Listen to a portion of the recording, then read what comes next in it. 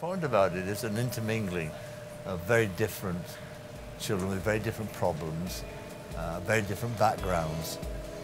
And it proves the kind of wonderful thing that sport can do, which is bring these disparate children together and in a moment make them one for a short period of time. And that's a, an experience which they don't normally actually go through.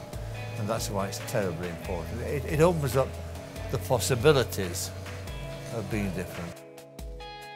Tower Hamlets is unfortunately known as one of the most deprived boroughs in London. However, it is a very vibrant borough. I think we're going on our third year now, I believe, and it's been uh, it's been really successful. Benefits of playing cricket, oh, all the good stuff, the teamwork, it really raises their aspirations.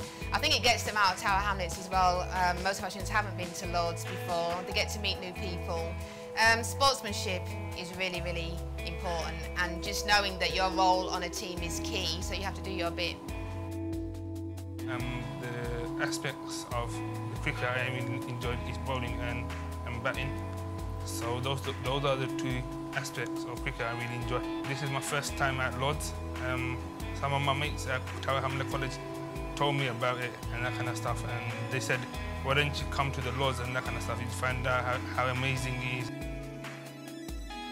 I was watching one of our players the other week who a ball came to him in the field and he stopped he ran to the ball, stopped, picked it up, looked to both ends, decided which end was the right end to throw it and threw it.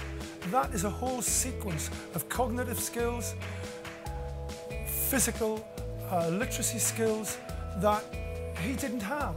He didn't have that until he began playing cricket a couple of years ago. Last time when I was doing the championships, I basically rolled the ball, except throwing the ball down at the wicket. And I basically won like the game for us, basically, last year. Well, I think that people should get into sport because it's active and gives you loads of communication, fitness and health. And I think that people should get into this, give it, a, give it a go.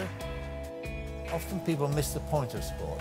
Sport is the greatest social lubricant of the lot, of that there is no doubt. Cricket particularly, because cricket's the kind of game which demands an awful lot of you, your temperament, your patience, all that sort of thing. This is a wonderful occasion and I'm proud to be associated with it. And the thought that it's expanding, I won't be president then, but whoever is will be a very lucky person.